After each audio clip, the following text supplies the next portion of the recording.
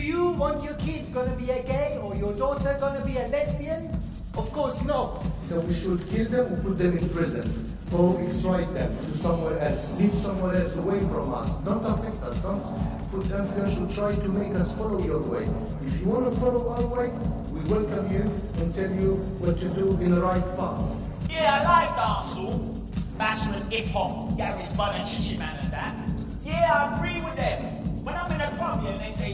Up if you need to get it, guys. I put up my lighters in it, like. Bun and chichi man, come out if you're gay. Him on the house, throw him in the car, shot him in the head. He'd have to lie. He'd have to lie or die, and that's when it got out of hand. I can't walk that route anymore. I'm gonna walk a different route. Income's a bit way to think about moving.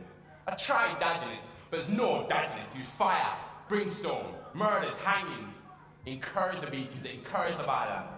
In 2003, the Vatican and these five Muslim countries, Libya, Egypt, Saudi Arabia, Pakistan, and Malaysia, derailed a UN draft resolution to protect the rights of people, regardless of their sexual orientation.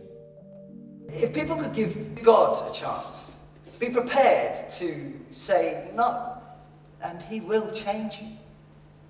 God loves people with homosexual inclination. He loves them desperately.